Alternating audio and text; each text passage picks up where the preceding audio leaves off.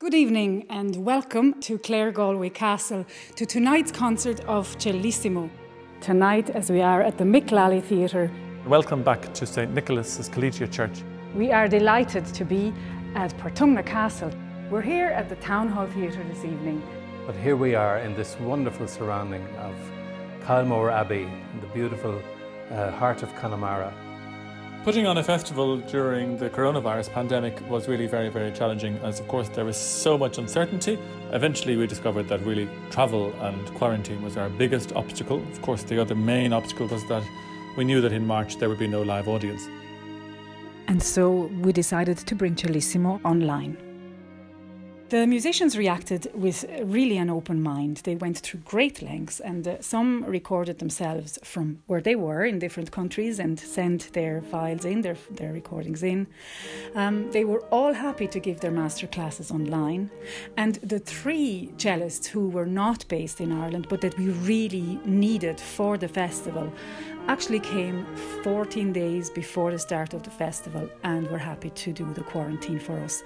Really a wonderful gesture from them.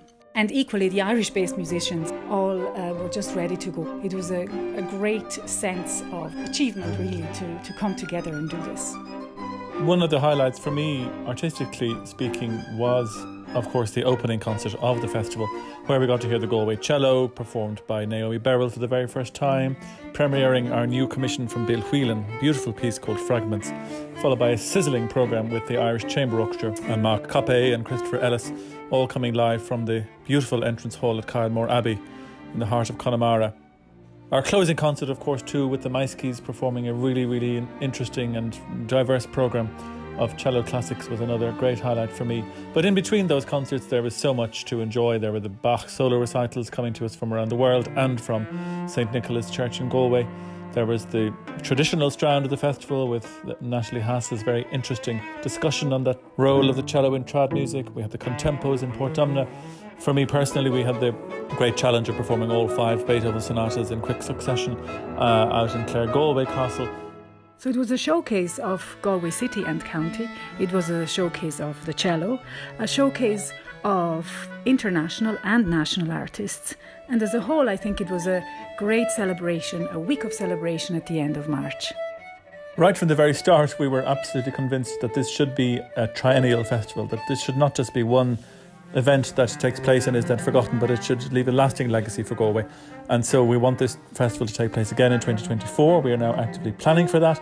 We are dreaming up great programming ideas for Galway City and County, and we look forward very much to welcoming people in person to the stages of Galway in 2024. So do join us then. We would like to thank you, the audiences who tuned in and stayed with us and were there and also sent us so many messages of encouragement and of appreciation. Thank you all.